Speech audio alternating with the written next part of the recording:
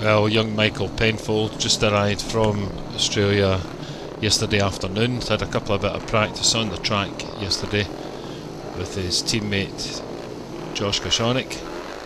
All four riders now ready to race. Kyle Gall, always an entertainer here.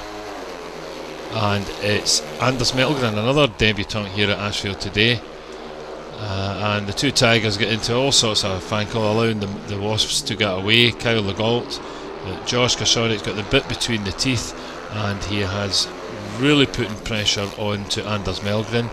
He's now going into this wide berth and he's pushing hard and he takes now Anders Mellgren round the outside and he looked his sights set his sights on Kyle Legault. Terrific race.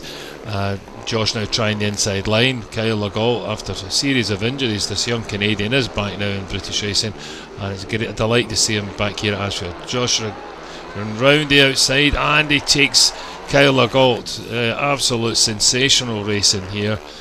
Uh, Michael Penfold way off at the back, feeling his way around here. But what a sensational race from the back. Josh Grajczonek takes all three points. The Wasps filled the minor positions, so she shared take three points apiece, but never mind, what a terrific race.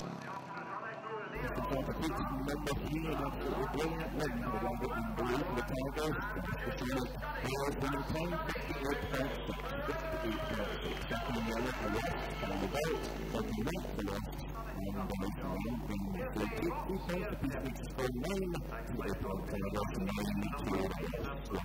winning.